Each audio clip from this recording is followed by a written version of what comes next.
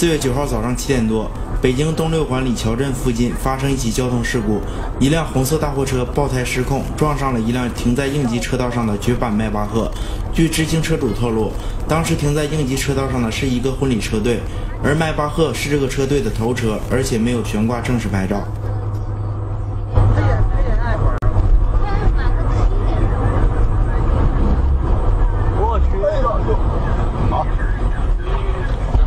我操！我操！这这今天没给他照我操！我操！这车还没翻呢，怎么这车怎么回事啊？真惊险！这拿摄像机，这这他妈的，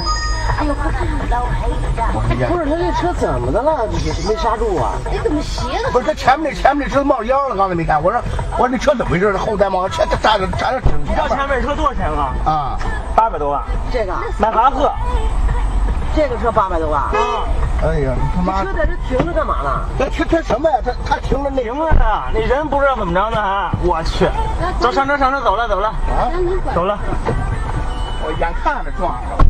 这也就是也就是走走走走走走走，咱咱这这这他妈是稍微慢了点，你要快点，我该该出口了，我肯定不可能那什么呀，你要快点，刚才麻烦了呢，他妈！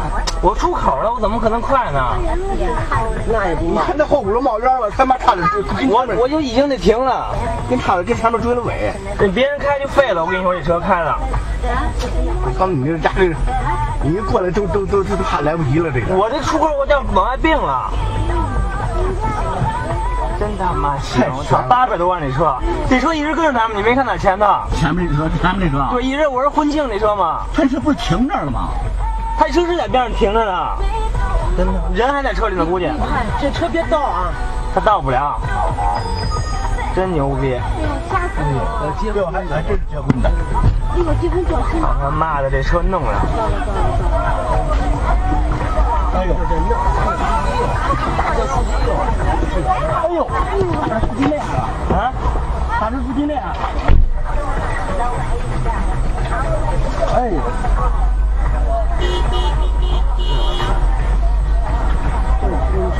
咱这司机还够呛呢。